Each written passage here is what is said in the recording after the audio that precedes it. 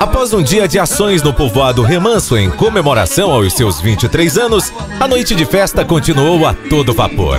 A Praça São Pedro foi palco de uma noite enérgica, onde a população comemorou com alegria e satisfação. Márcia Ilha, Carlinhos Souza, Luan Gaspar e Val Farias foram os primeiros a se apresentar com o show Cabaré do Brasil e transformaram o espaço num verdadeiro bailão que não deixou ninguém parado. Nós gostamos muito da festa, do bolo, foi muito maravilhoso, né? Então, eu fiquei feliz, né? E ele ter beijado nós, né? Muito bonita a festa, tranquilo, entendeu? E que continue sempre assim, entendeu? Organizada e o povo aqui alegre e animado. Festa boa, maravilhosa.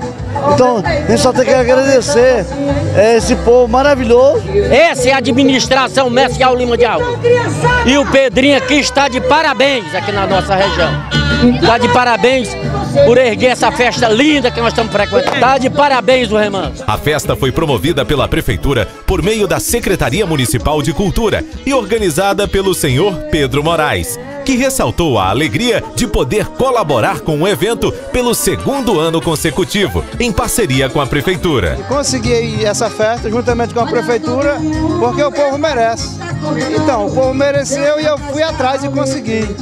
E nós não podíamos deixar de fazer essa festa. A segunda banda a se apresentar foi a Lapada Quente, que fechou a noite no embalo das atualidades, com as músicas mais pedidas e dançantes do momento.